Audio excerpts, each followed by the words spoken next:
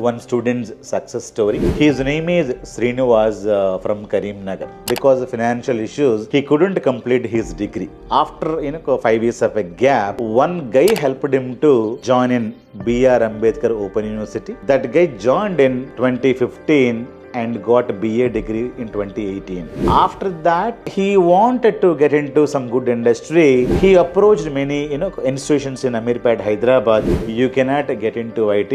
You cannot learn IT. Even though you learn IT, no company can give you any job. That is what is the feedback he got. In 2020, he came and attended, you know, my data analytics course. And the first question he asked, "Sir, this is what is my history. Now I wanted to get into IT industry. Can I learn this course and can I get into IT industry? Then I said, yes, there is no problem. So he's told me, sir, you are the first guy told me at least yes. Now that guy joined data analytics course in 2020. After the course, after six months, he got a job in Ahmedabad. That guy is currently working in uh, one of the Bangalore top MNCs now with almost I think 18 to 20 lakhs package. So nobody can stop you in this world. Only you yourself is going to be stopping you.